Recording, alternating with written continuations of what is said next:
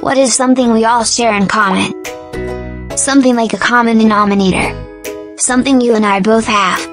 The answer? We all share one home. The planet Earth. That serves as a nest of rich biodiversity. A home full of life and natural resources.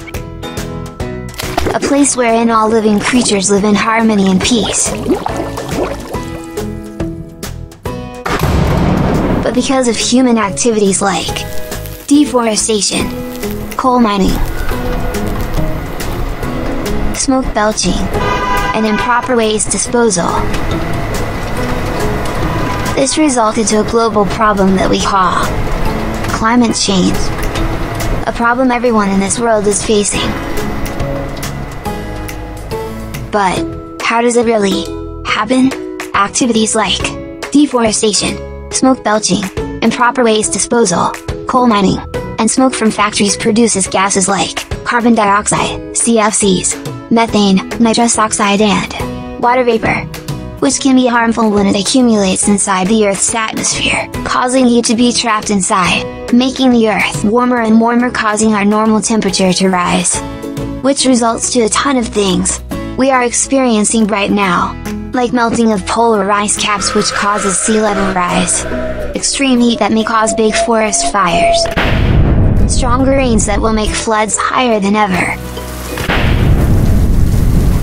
Our normal climate will change drastically, and will affect all living creatures inside of it. But we can still make things happen. In our own little ways. We can start by planting more trees that will produce cleaner air. Let's recycle, and as much as possible say no to single-use plastic like utensils, plastic bottles and straws, that can pollute our seas. To reduce smoke and air pollution, instead of using cars, why not try biking? Reduce your energy consumption, Open our windows and let natural light in. Save energy and save resources, and use energy efficient appliances. Earth is everything that we got. It is something we all share. Something we must protect. Love and value. We can do it.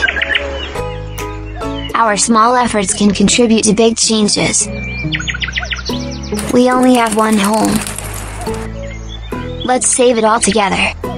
And help the fight against climate change.